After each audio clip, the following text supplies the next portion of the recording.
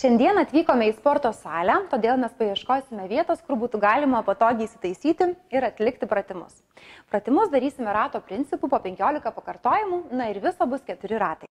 Pirmąją seriją siūlyčiau daryti su mažiausiais 1 kg svarmenimis.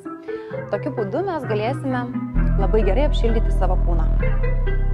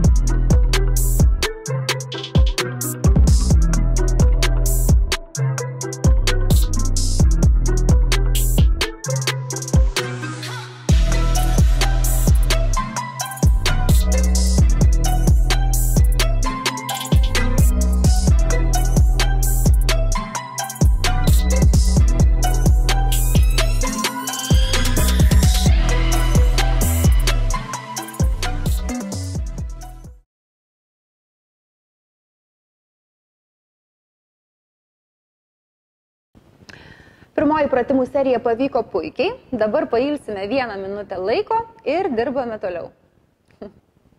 Po tokios geros treniruotės nepamirškite sveikai pavalgyti arba pamaitinkite savo raumenis proteinų kokteiliu.